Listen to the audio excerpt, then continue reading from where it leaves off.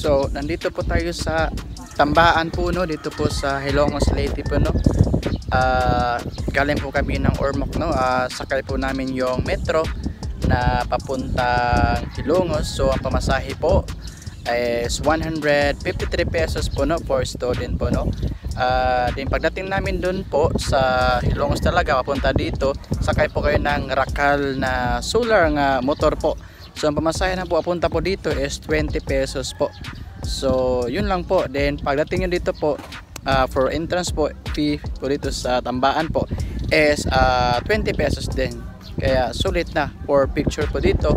So may kainan po din po sila dito. So tara. Tingnan pa natin po dito ang tambaan po.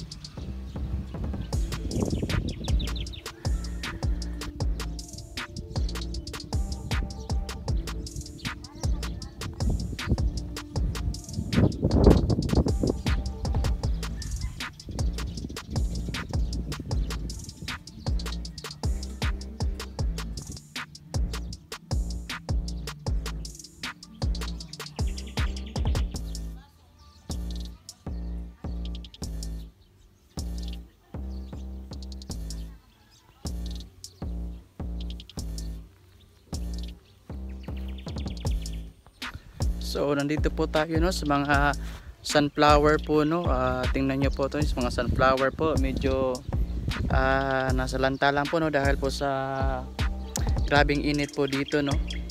So maganda sana to no kung may bulaklak po no. Kaso po matinding init po talaga tingnan niyo po nasa lanta po 'to yung sunflower po.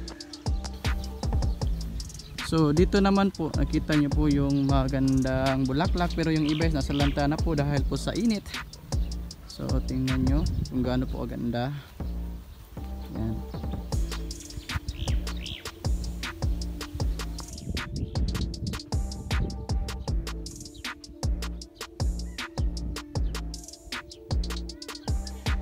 So ang ganda po ng hangin po dito no. Ah, fresh air po talaga no.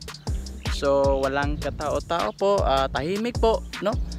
Ah, kapag may problema ka, pwede ka po dito mapag-isa. Pwede rin sa mga girlfriend nyo o boyfriend nyo, punta po kayo dito is sobrang ganda po dito for taking picture po. So dito lang po yan no, sa Tambaan po no, sa Hilongos Leyte po. So 20 pesos lang po yung entrance po no. Ah, advantage po ito sa mga merong motor na po pero okay lang naman din po kung wala na kayong sasakyan kasi 20 pesos lang naman po. Ang babayaran nyo sakay po kayo ng rakal or tricycle po dito nga solar po. So nakamura, na, napakamura lang po no? So tingnan nyo po no? Yan malawak po ito no? Tingnan nyo po. So sobrang laki po nito. Yan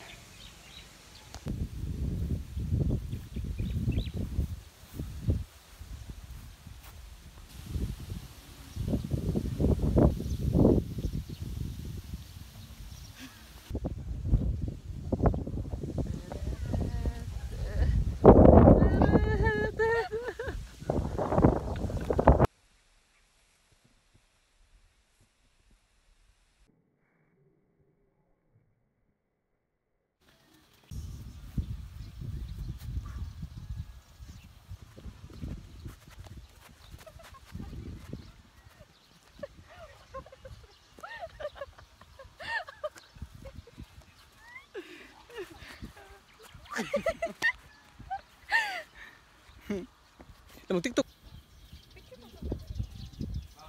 Haga, ano? Saan naman ka? So init. Ano nangyari sa'yo?